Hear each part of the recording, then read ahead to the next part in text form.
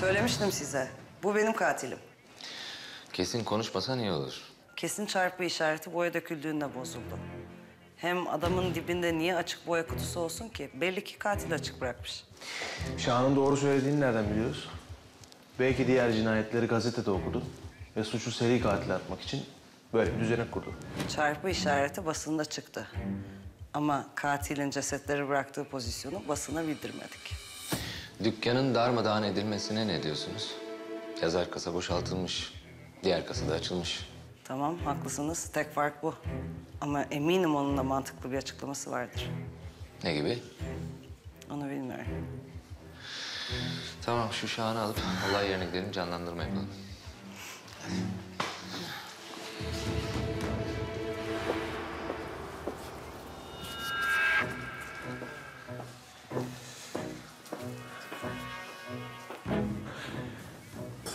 Bu niye gülüyor bize şimdi ya? Belki boşuna günahını aldık. Haklı olabilir. Ya bunun yaptığını ben yapmış olsaydım çoktan topa tutmuştunuz beni. Sanki sen çok farklıydın Selim. Ben ne zaman sizin emirlerinize karşı geldim ya? Büroya ilk geldiğin günleri ne çabuk unuttun. Neredesin sen? Yakaladım getirdim işte adamı. Suçunu da itiraf etti. Vallahi istemeyerek oldu komiserim. Kes lan. Savcıya anlatırsın artık derdini. Yürü. İbrahim al şunu. Emredersiniz başkomiserim. Ya. Ben sana DNA sonuçlarını bekleyeceksin demedim mi? Oo başkomiserim DNA sonucunu beklesek çoktan tüymüştü adam. Bu adam sorguda suçunu itiraf etmedi. Şimdi nasıl etti? İkna ettim ben. Belli oluyor adamın suratından. Bana bak koçum. Diğerlerini bilmem. Ama benimle çalışacaksan ben ne diyorsam onu yapacaksın. Öyle kafadan adam dövme, kulak kesme, işkence falan yok. Unut. Ne diyor polis oldun sen? Vatandaşı korumak için değil mi? Ha? Onlar gibi davranırsak ne farkımız kalır suçlulardan?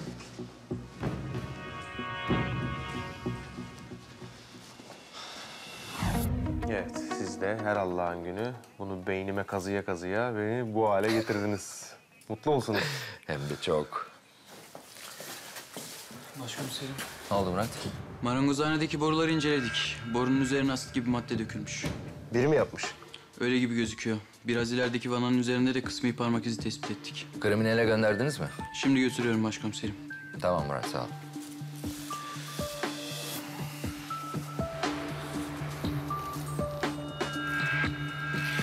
Gel bakalım. Oradan girip şuraya kadar geldim. Aziz sandalyede arkası dönük oturuyordu.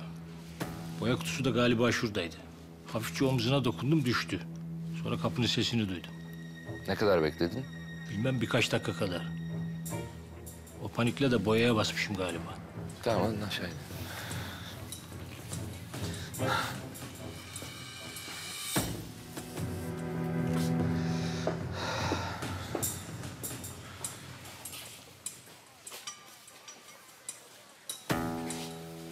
galoşları giyip gittim.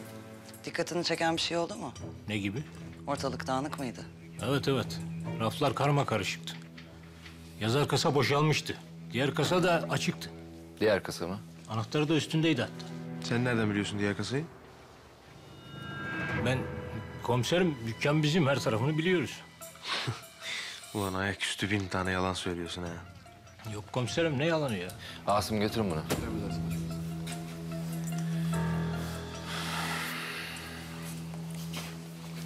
Yalan söylüyor. Biliyorum. Ee, ne yapıyoruz? Acıktınız mı? Çok. Öf ölüyorum ben açlıktan ya. Madem öyle Ayça Hanım'a boğaza güzel bir balık yedirelim.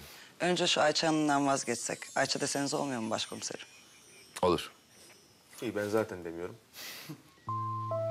Yalnız canım şöyle güzel bir et çekti. Bildiğiniz güzel bir ocakbaşı var mı? Oo, olmaz mı? Hadi Zeynep'i de ara. O da gelsin. Tamam. Hadi bakalım.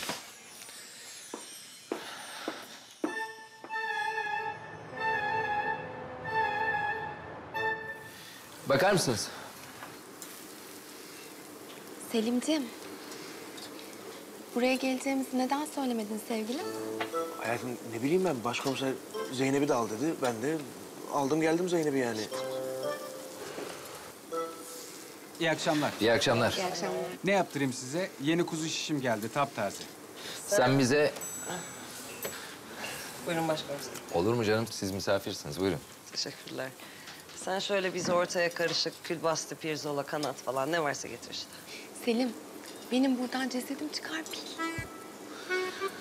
Ya birader şöyle yeşillik falan bir şeyler var mı? Mezeleri getireyim ben. Meze demedik aslanım, yeşillik. Kıvırcık salata hazırlatayım. Bak olur, olur değil mi? Aa Zeynep sen vejeteryandın değil mi ya? Önemli değil başkomiserim. Anladım efendim. İçecek ne alırdınız? O ne biçim soru ya? Rakı tabii. Tabii ki. Serap lütfen. Bırakın.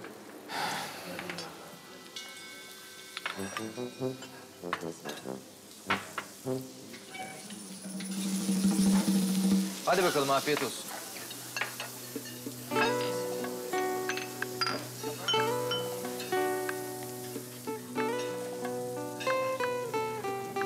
Acayip alışmışım bu merete. Rahmetli babamın işi. Eti de çok severim. Bir gün bir steakhouse'a gittik. Steakhouse mu? Aa, nerede?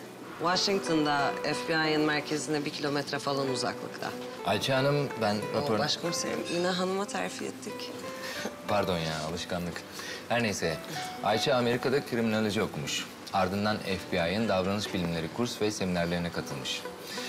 Sonra cinsel suç bağlantılı cinayetler... Başkomiserim lütfen utandırmayın beni. Kötü bir şey söylemedim ki. Olsun şimdi akşam akşam konuşmayalım bunları. Peki sen bilirsin. Neyse ne diyordum? Et harika ama rakı yok. Ben de evde mataraya böyle rakı doldurdum. Onu da duty free'den almışım.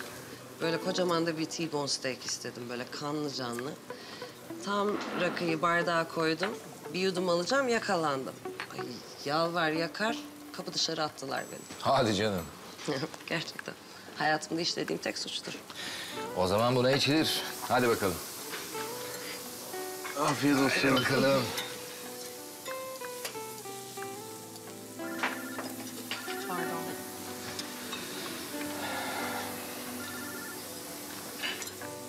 Efendim Hande? Tamam. Tam- tamam hemen geliyorum ben. Kusura bakmayın benim hemen gitmem gerekiyor. Ne oldu şimdi ya? Bana da bulunan kısmi parmak izine sorun çıkmış. Tamam, ben seni götüreyim. Yani 40 yılın başı hep beraber yemek yiyecektik. Halledememişler mi? Yok başkomiserim. Ben gitsem daha iyi olacak.